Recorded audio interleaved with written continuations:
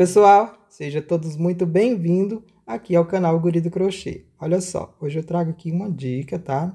Não é bem ensinando porque não é todo mundo que vai ter essa peça, mas eu tive uma ideia aqui e trouxe aqui para mostrar para vocês. Quem sabe a partir daqui você possa ter uma ideia para fazer também um suporte desse aqui, ó. Ficou muito legal, eu amei, eu não tenho que ficar puxando o barbante toda hora.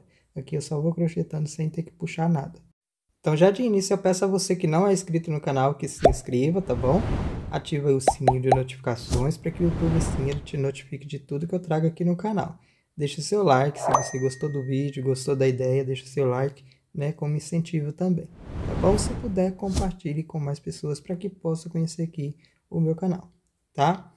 Olha só, eu vou mostrar para vocês aqui o passo a passo de como eu fiz essa peça aqui que ficou muito bacana mesmo.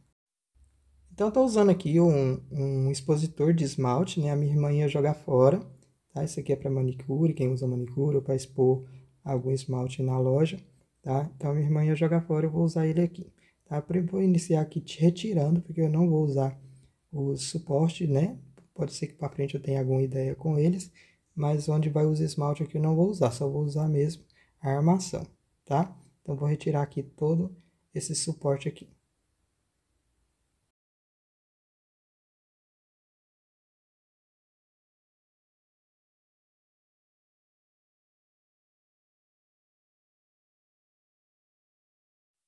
Eu retirei aqui todos os suportes, né, onde vai os esmalte, vou usar aqui só a armação, tá? Para poder fazer aqui o meu suporte. Aqui já vai os barbantes, nessa parte de baixo, vai ficar bem legal.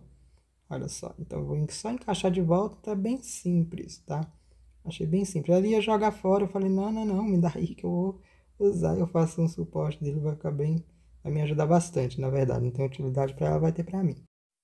Então, gente, aqui eu tenho um parafuso que se chama Zicando, tá? Você vai encontrar com esse nome. Eu vou furar aqui na parte de baixo aqui e vou colocar os dois aqui, tá?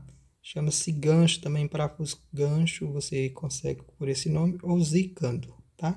E aqui eu furei com a furadeira, ó, nos furinhos, e vou adaptar os dois aqui. Por que eu vou adaptar dois? Porque talvez eu esteja trabalhando com dois fios, para quem trabalha com fio conduzido, então é bom ter mais, tá?